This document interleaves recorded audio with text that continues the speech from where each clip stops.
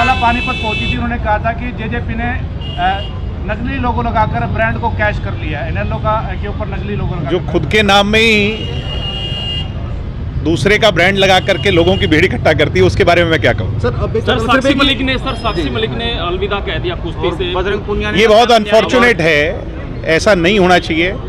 देश की सरकार ने और मैं खुद क्योंकि एक संघ का अध्यक्ष हूँ उसके नाते कहूँगा कि ऐसा कोई भी फैसले हमारे साथ ही जो खिलाड़ी हैं वो मत लें।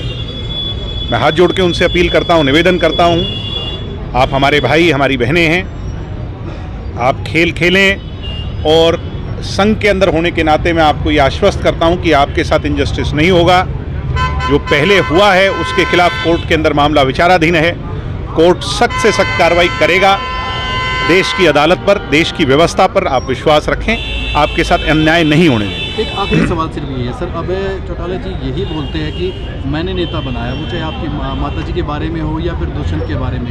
वहीं आप बोलते कि अब की बार सीएम दुष्यंत चौटाला बनना चाहिए, जनता प्यार करती है। तो क्या उन लोगों ने आपको बनाया? नेता जनता बनाती है, और अभय चौटाला जी को भी जितनी बार एमएलए बनाया, जनता ने बनाया। अब कोई उसका क्रेडिट लेने लग जाए तो ये बड़ी हास्यास्पद सी बात है। मेरे पिता को जेल हो गई थी, मेरे दादाजी जेल में थे और निश्चित तौर पर अभय चौटाला उस समय पार्टी के मुखिया थे, लीड कर रहे थे पार्टी को, और हम सब उनके कार्यकर्ता के तौर पर काम कर रहे थे चौटाला साहब के निर्देश पर। आज वो उसको अदरवाइज़ लेकर के ये कहना चाहें तो वो उनका जो है ना, डर वो है, उनका विचार है।